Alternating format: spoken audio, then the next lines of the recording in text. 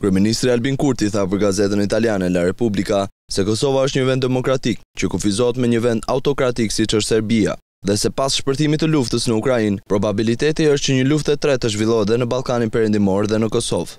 Kurti shpjegoi se Moska është ajo që komandon Beogradin në marrëdhëniet me Kosovën. Më njëzet e pesë nëntor, kryeministri serb ishte në Soçi. Ishte takimi i nëntëmbëdhjetë me Putinin në dhjetë vjet. Pra, mesatarisht, ato takohen dy herë në vit. Kjo nuk është normale. Kurti kujtoi dhe me këtë rast fjalët e presidentit serb Aleksandër Vuçiç. Me Putinin folëm për standardet e dyfishta dhe hipokrizinë me marrëdhëniet ndërkombëtare. Ai ishte i vetëdijshëm për këtë. Unë i tregova veriun e Kosovës në hartë. Arsyeja e trazirave të ditëve të fundit, tha Kurti për gazetën italiane, erdhën në shtator të vitit dy mijë e njëzet e një. Kur në perspektivën e reciprocitetit urdhërova të vendoseshin targa të përkohshme për serbët që hyjnë në Kosovë, dhe ata u përgjigjën duke fluturuar avionët ushtarakë MiG njëzet e nëntë përgjatë kufirit, ku nxituan të shkojnë ambasadori rus dhe ministri serb i Mbrojtjes.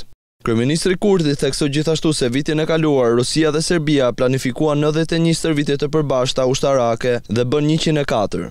Që nga gushti i vitit dy mijë e një, Serbia ka ngritur dyzet e tetë baza operative të avancuara, njëzet e tetë të ushtrisë dhe njëzet të xhandarmërisë, rreth Kosovës.